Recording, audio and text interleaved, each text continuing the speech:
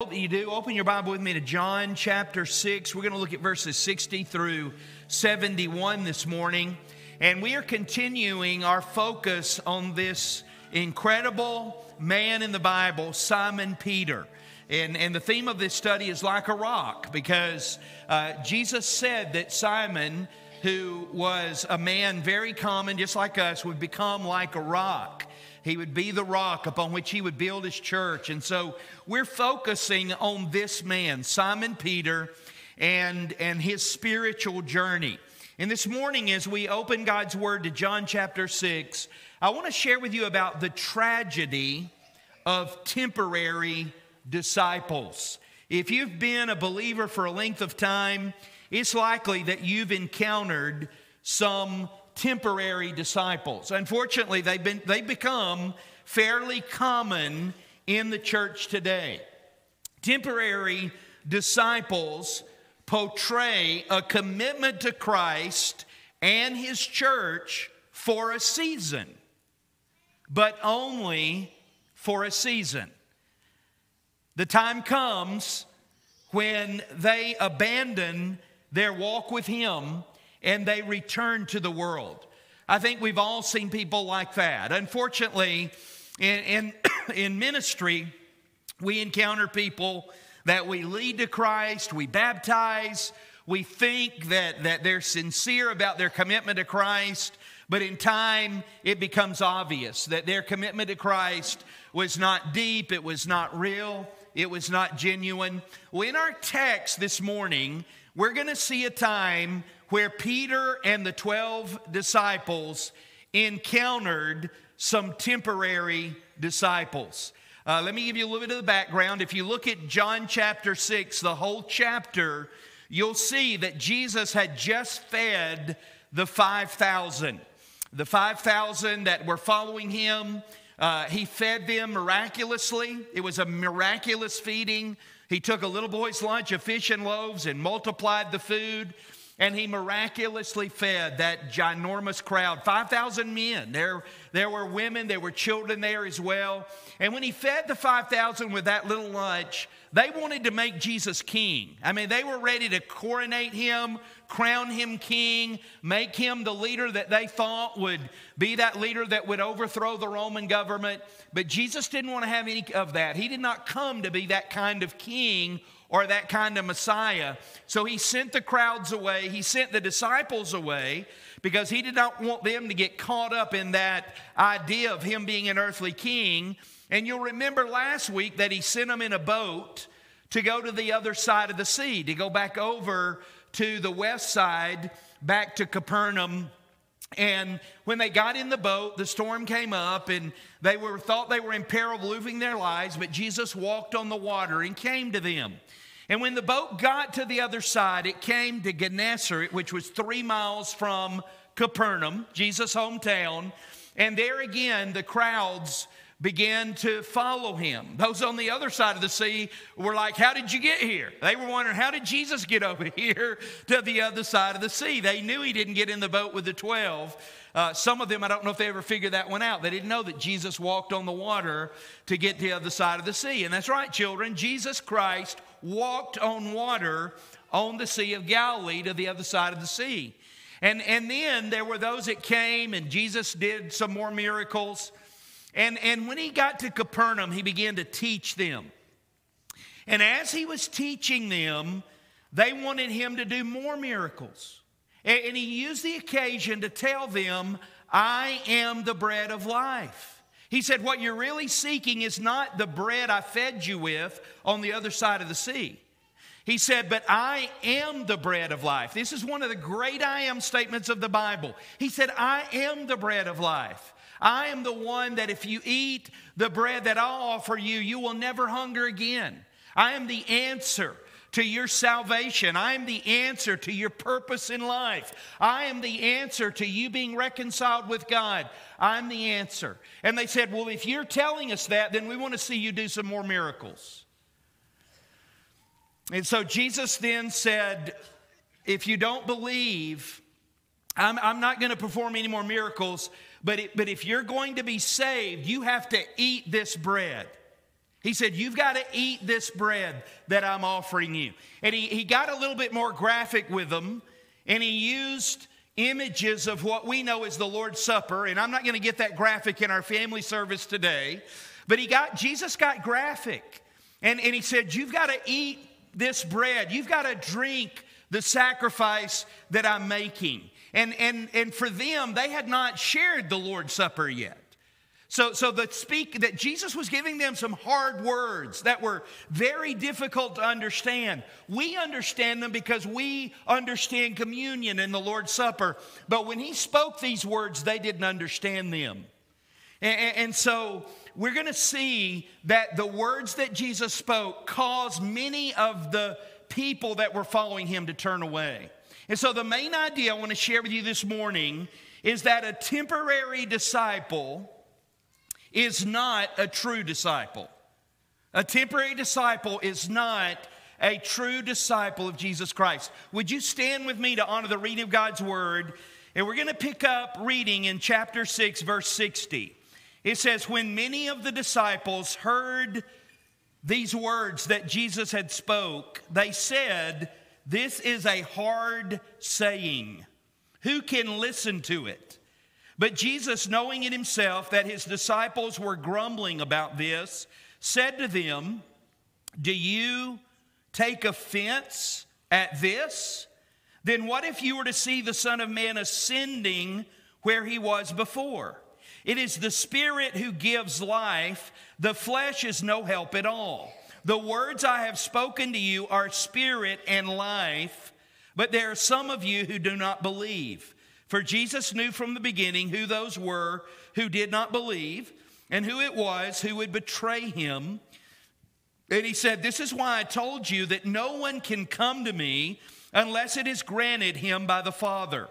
After this, many of his disciples turned back and no longer walked with him.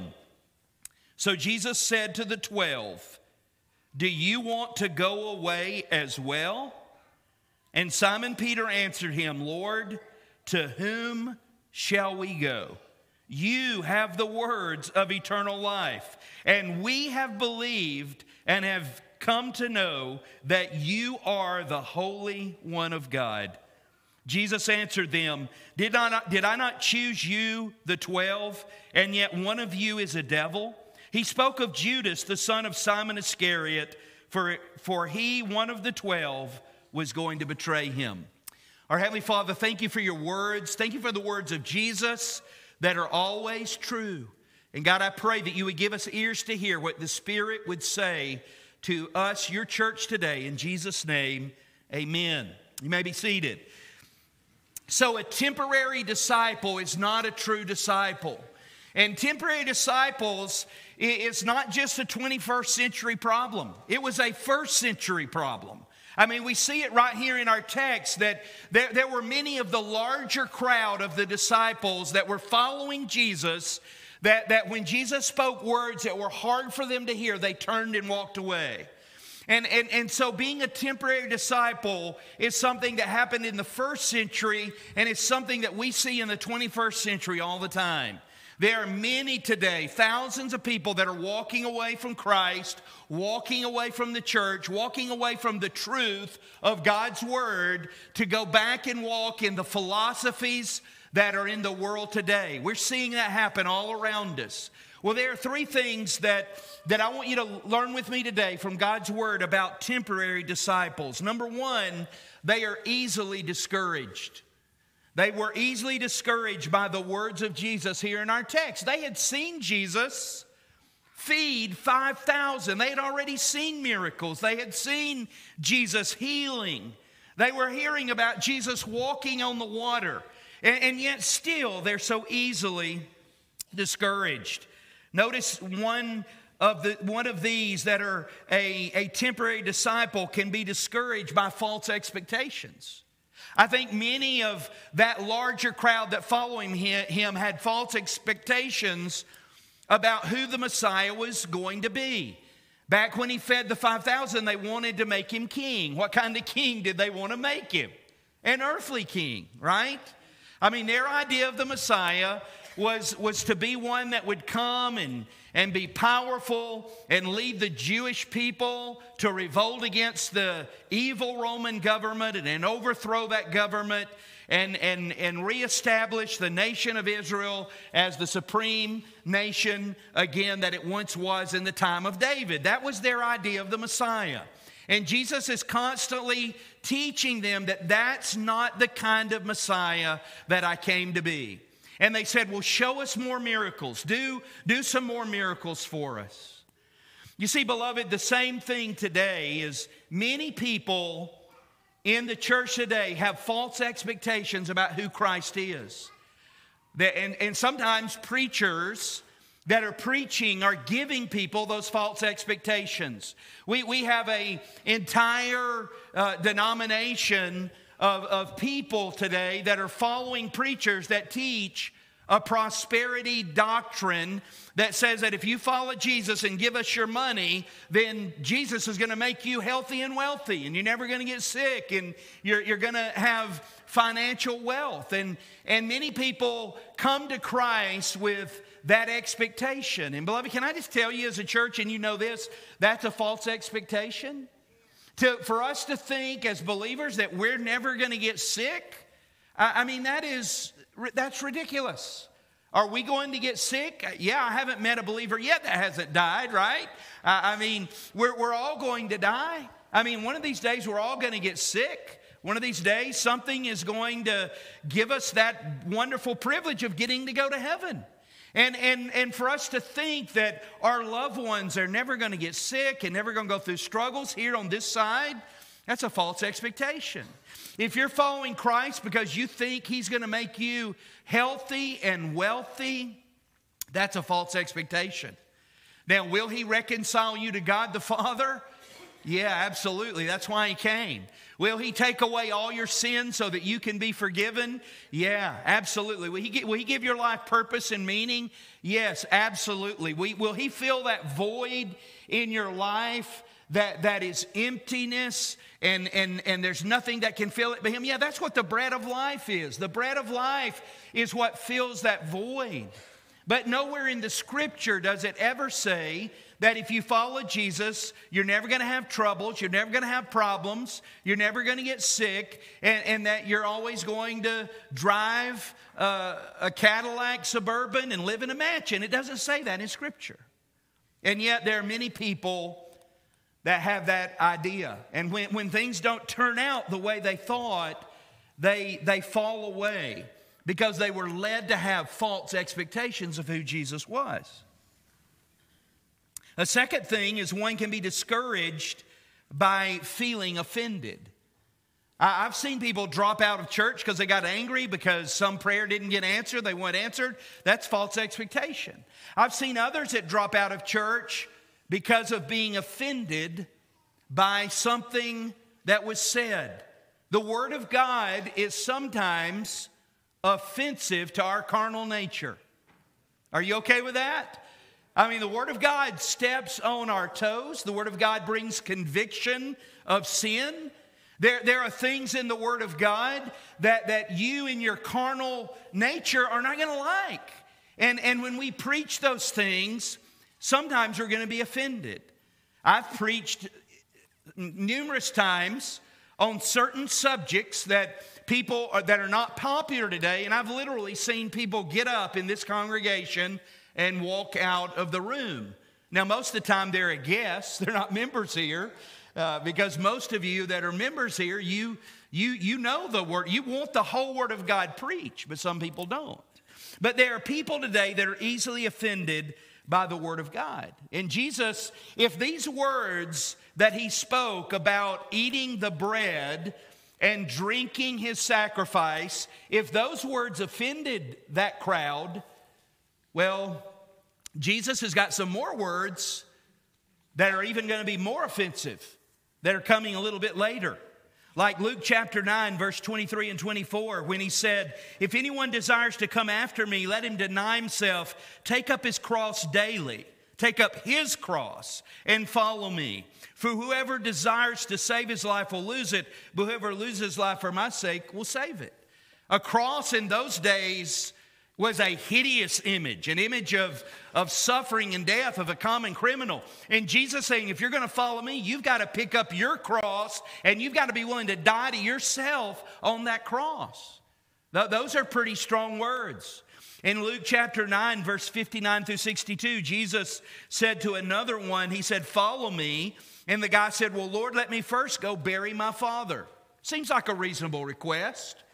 And Jesus said to him, Let the dead bury their own dead, but you go preach the kingdom of God. Wow. That's pretty strong, right? That's pretty offensive. I mean, I, am saying, well, Jesus, I want to follow you, but my dad is aging and he needs me to, to be his caregiver, and, and I'm going to stick around and take care of him, and then I'll follow you. And Jesus said, no, no, no. Let the dead bury the dead. You follow me. I mean, that may even still be offensive to us today, right? Maybe you're sitting here thinking, did Jesus really say that? Yeah, it's there. Look at look in your Bible. He, he said to another, another said to him, Lord, I will follow you, but let me first go bid farewell to those who are in my house. And Jesus said to him, No one having put his hand to the plow and looking back is fit for the kingdom of God. Wow. In, in Matthew chapter 10, verse 37 through 38, get this. Jesus said, He who loves his father or mother more than me is not worthy of me. He who loves his son or daughter more than me is not worthy of me. And he who does not take up his cross and follow after me is not worthy of me. Beloved, those are the words of Jesus. So they only thought they were offended now, right? I mean, just wait. I mean, the words of Jesus are even going to be more offensive in the days ahead. What is Jesus saying? Jesus is saying to us that when we decide that we are going to follow him as Savior and Lord, that that means that we die to everything, that we die to self to follow him, that we surrender everything to him. And that is what it means to be a follower of Jesus Christ. John MacArthur said about that passage, he said, false disciples are curiosity seekers who are superficially attracted to Christ. But when he makes demands on them, or there is a cost to be paid for following him, they disappear, desiring neither to, to go of the, of the world nor to deny themselves. False disciples do not follow Christ because of who he is, but because of what they want from him. Let me say that again. They follow him not because of who he is, but because of what they want from him. They are thrill seekers, not truth seekers. A lot of people today are looking for churches that will never preach the hard sayings of Christ, that never even read the verses that I just read to you, that love to come to the great Sunday morning event where they hear a sermon about how wonderful they are and, and engage in some outstanding worship and never be challenged to make the ultimate sacrifice for Jesus Christ. Beloved, that's what Memorial Day is all about, right? It's about those that made the ultimate sacrifice for our country. For our country. Yeah, it's, it is an incredible, re- respectful thing to make the ultimate sacrifice for our country. But, beloved, we are called to make the ultimate sacrifice for something far greater than our country, right? We're making the ultimate sacrifice for our Lord and Savior, Jesus Christ. We're to be willing to die for him if necessary. But every day, we are to die to self to live for him. Are you easily discouraged by false expectations, by being offended?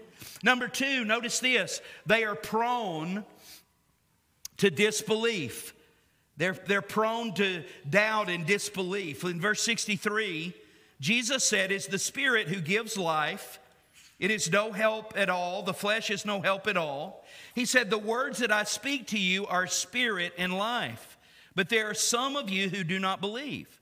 For Jesus knew from the beginning who would not believe him. And he said, This is why I told you that no one can come to me unless granted by the Father. Beloved, do you realize that Jesus' words, Jesus said, My words are spirit. So, so the, the Word of God, the Bible, is not a physical book, is it? It, it, it may look like one, it may look like paper and ink, but, but do you realize that this is a spiritual book? This is a spiritual book. Are you with me? These are the words of God. And when the Word of God is read, when the Word of God is preached, when the Word of God is taught, there's power. The Spirit is working. The Spirit is active in the words of Christ that He spoke. My words are spirit and my words are life. What does the Holy Spirit do? The Holy Spirit brings life. Life out of death, life out of deadness. And what is it that does that? The Word of God. That is why reading the Word of God, memorizing the Word of God, meditating on the Word of God, Hearing the Word of God taught and preached is so vital because our flesh can profit nothing. We'll never be able to live for God in the flesh, only as we are activated by the Spirit. And we can't even come to God in the flesh. Jesus said, if you look over in, in John 6 44, he said, No one can come to me unless the Father who sent me draws him, and I will raise him up on the last day. And he said that again there in verse 65. This is why I told you no one can come to me unless granted by the Father. In salvation, there is the work of the witness. That's me and you. We, we're the witness, we're the evangelist. We share the good news of Christ. We tell people the good news that Christ died on the cross for their sin, because he loves you even as a sinner. If you would put your faith in him, his death, burial, and resurrection, you can be saved. When I share that simple, powerful message, then the Trinity of God, the entire Trinity of God, steps in action. The Holy Spirit takes the gospel, and the gospel, the Bible says, is the power of God unto salvation, and the Holy Spirit begins to convict all of us of our sin, that we're sinners that we are sinners who've sinned against the holy God. We cannot save ourselves. The Spirit goes to work. And then the Father goes to work. As the Spirit convicts us of our sin, God the Father draws us to His Son, Jesus Christ. And as the Father draws us to His Son, if we put our faith in His Son, then Jesus is the one who brings salvation. He saves us. The Spirit convicts us, the Father draws us, Jesus saves us, and, and, and uh, that all happens as we put our faith in the Lord Jesus Christ. But here, this crowd, they were prone to disbelief. And the Bible says that many of them turned to walk away. You know, I'm a, I'm a firm believer in the doctrine that we cherish called the doctrine of eternal security. I believe in that. I preach that. I can, I can take you through Scripture and show you that incredible doctrine of eternal security. When properly understood, the doctrine of eternal security brings joy and peace and blessing, security to every believer. When that doctrine is misunderstood, however, it can be incredibly dangerous and damnable doctrine.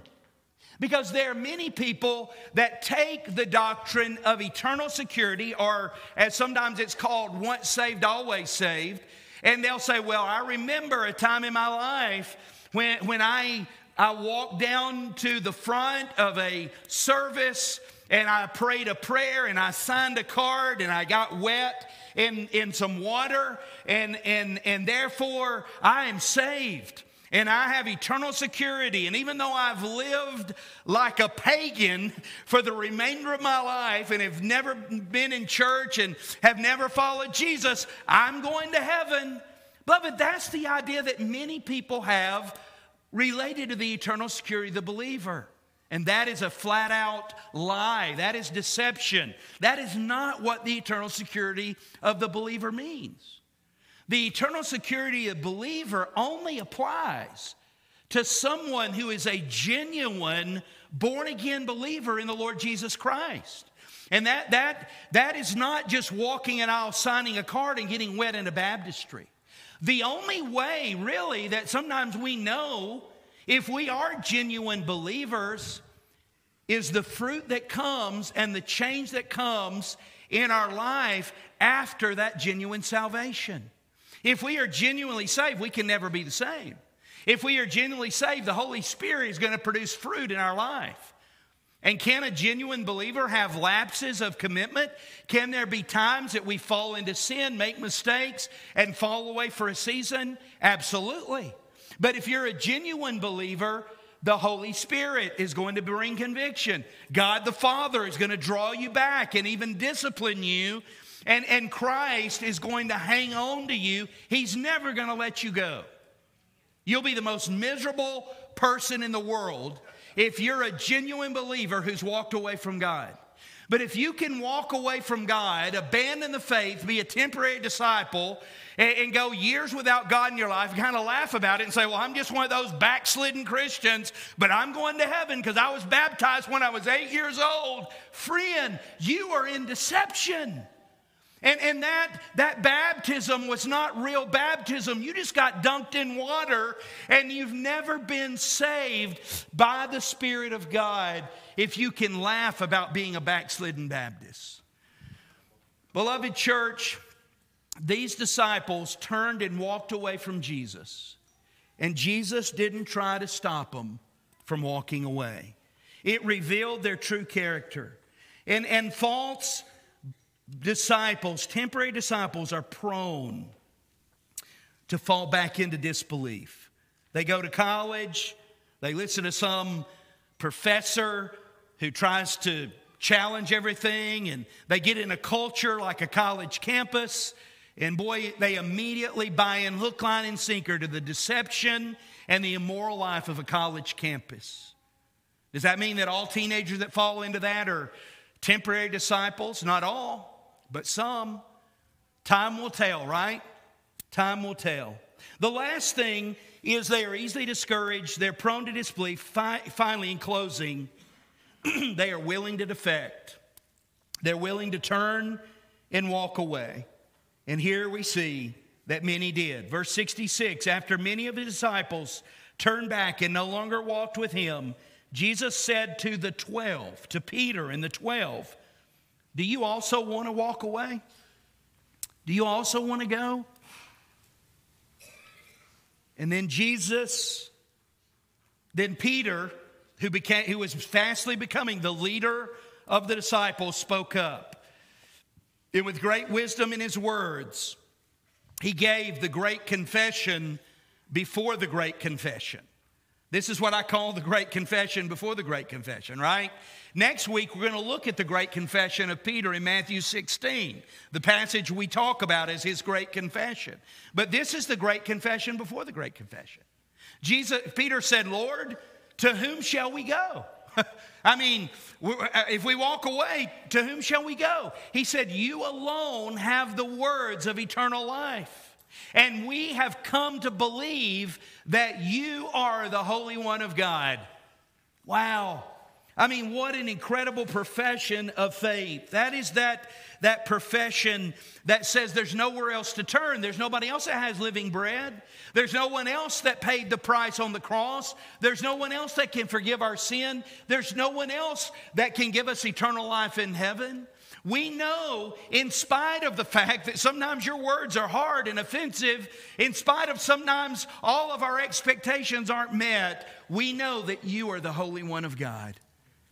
Oh, what a profession. Beloved, that's where many of us are here today, aren't we? I mean, that's where many of us are children, parents. Can I just tell you this for all of us in this room? Uh, the Christian life is going to bring some disappointments. What I mean by that is, there are going to be times our prayers aren't answered the way we wanted them to be answered, and in the flesh, we're going to be disappointed. Now, if we knew if we knew who God is more maturely, we wouldn't be disappointed anytime God says no to an answer to prayer. Because God always has a reason. But in the flesh, honestly, there are going to be times we're disappointed. God doesn't answer a prayer the way we wanted him to. There are times we're going to have expectations that God is not going to meet. There are going to be times that the Word of God brings something to us that is so offensive. I mean, it brings conviction. It's hard. It's a hard saying. But for many of us in this room, our mind is made up, right? That even if Jesus doesn't answer all my prayers the way I want him to, even if I go through things on this earth that I do not understand, even though there are times I read the Bible and it offends me, who else am I going to turn to? There's nobody else. There's no one in the else that I would rather follow than the person of Jesus Christ who gave his life for me, who reconciles me to God, who gives me eternal life, and who fills me with living bread. Amen? Are you with me, church? We're not going to turn away just because our prayers always answer the way we want them to. We're not going to turn away just because the world is going one way and the Word of God is leading us another way. We're not going to turn away if the world perse- persecutes us because we believe in what Jesus said in a time when it's not popular to believe in what Jesus said. We are settled, right? We're going to build our lives on the rock of Jesus Christ, and there's no turning back. 1 John chapter 2 verse 19. John explained it. He said, "They went out from us." Now look at this they, these temporary disciples, went out from us. Why? He said, Because they were not of us. They were not of us in the first place. For if they had been of us, they would have continued with us. But they went out that it might become plain, that it might be made manifest that they were not of us at all. I mean, John just lays it out there, right? He says the reason they left because they never were really saved. And if they had been saved, they would have stayed, but they went out so that it would become known that they were never of us in the first place. Hebrews chapter 10, verse 39, the writer of Hebrews says, But we are not of those who shrink back and are destroyed, but of those who have faith to the persevering of the soul. In Matthew 24, 13, Jesus said, He who endures to the end shall be saved. He who endures to the end. Doesn't mean we're not going to have moments of sin, of failure, of mistakes, of doubts. But even during those times, God never leaves us, He never forsakes us. He holds on to us when we don't even hold on to Him, and He will get us through. The ultimate example of a temporary disciple is seen there in verse 70. Jesus answered them, Did I not choose you 12, and yet even one of you is a devil? He spoke of Judas, the son of Simon Iscariot, for he, one of the 12, was going to betray him. Judas was a temporary disciple. Long, he, he was longer than some of these others that turned away. But in the end, he turned away and betrayed Christ. Jesus said he was of the devil. Jesus said that uh, he, he, he will betray me. And you remember the story of Judas? Judas turned away, became a temporary disciple for 30 pieces of silver. Turned away from Christ for 30 pieces of silver. His expectations that he had were not met, maybe. Maybe Jesus said some things that offended him. So he sold Jesus for 30 pieces of silver. After he turned away from Jesus, Peter asked the question To whom shall we go? Remember, after Judas turned away from Jesus, there was nowhere else to go. I mean, he had his silver, he, he had his money, but, but there, was, there was no bread of life anymore. There was no purpose. There was no meaning. There was no relationship with God. And the Bible says that Judas went out and hung himself. He, he committed suicide. Why did Judas commit suicide? Because the words that Peter said are so true. If we turn away from you, to whom shall we go? And the answer is there is nowhere to go. If you turn away from Jesus, there's nowhere to go. If you turn away from Jesus, there's no, there's no other answer. There's no other bread. There's, there's no other Savior. There's no other forgiver. There's no other way to God. Jesus said, I am the way, the truth, and the life. And there's no other way to heaven except through me. I want to ask you in closing are you being tempted to turn away from Christ? Is there something that has offended you or some false expectation that has caused you to slip away from your faithfulness, that's caused you to think about turning away? Maybe you already have. You're watching online or you're here. Well, I want to ask you this if you turn away from Christ, to whom shall you go? There's nobody else. Would you pray with me? As we bow our heads before God this morning, I want to invite you to come to Christ if you've never been saved. You, you may be here and you've heard about Jesus. You've, you know that He died on the cross for your sins, but you've never stepped out in faith to be baptized, to make that profession of your faith in Christ. Some of you children, maybe you've been thinking about it, praying about it with your parents, but you haven't made that commitment yet. I want to I want to encourage you to make that commitment today. There's nowhere else to go except Jesus. If you want to have God in your life, purpose in your life, there's nowhere else to go today. I invite you to Jesus. Maybe you're here, you've tried everything else. You've tried everything the world has to offer. It, it's not there. There's nowhere else to go. I pray today that you would come to Jesus. I'm going to pray in a minute. I want to invite you to pray with me. Maybe you're here as a believer. Maybe you've been tempted to fall away from your faithfulness, to to step back from your commitment. Oh, I want to encourage you not to do that. I pray like Peter, you'd say, you know, where, there's nowhere else to go. Maybe, maybe you were offended at something. Maybe you were discouraged by something. But I pray today you'd come to the realization there's nowhere else to go. I, I'm going to come back to Christ and I'm never going to turn away. No turning back for me. If that's you, the altar will be open up here after we sing or while we're singing. I'll invite you to come and get on your knees and, and, just recommit your life to God and say, God, you know what? I don't understand everything, but there's no turning back for me. And if you're here today, you've never accepted Christ as your Savior, you've never been saved and baptized, but you want to be, would you pray this prayer with me right now? Dear Jesus, I need you.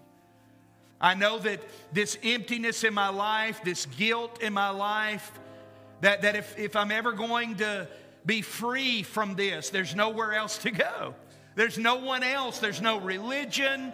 That there's nothing I can do except turn to you, Jesus Christ, and put my faith in you, your death, your burial, your resurrection for my salvation.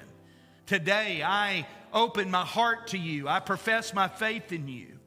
And I receive your forgiveness and I receive your gift of eternal life by faith. In Jesus' name I pray. Amen. Oh, if you prayed that prayer, Hallelujah. Greatest decision you'll ever make. Come and let me know. I'll be right here. If you want to come and let me know right now, I'm going to be standing right here. I'd love to celebrate that with you. Or I'll be at back at Meet the Pastor. And if you prayed that prayer and you want to get baptized, come see me at Meet the Pastor right after this service. Let's talk about it, beloved church.